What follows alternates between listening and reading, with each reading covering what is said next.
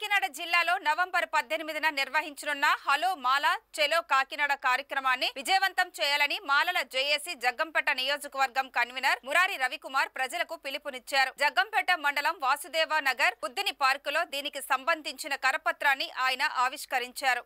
ఈ సందర్భంగా రవికుమార్ మాట్లాడుతూ మాలలకు జరిగిన అన్యాయంపై గలం విప్పేందుకు పద్దెనిమిదిన భారీ బహిరంగ సభ నిర్వహించి తమ వాణి వినిపిస్తామని వెల్లడించారు. జిల్లాలోని మాలలందరూ ఈ కార్యక్రమంలో పాల్గొని విజయవంతం చేయాలని విజ్ఞప్తి చేశారు. ఈ కార్యక్రమంలో జగ్గంపేట బహుజన సమాజ్ పార్టీ నాయకులు Juttuka Nageswararao liberation Congress party Jaggampeta incharge Sade Narendrababu తదితరులు పాల్గొన్నారు.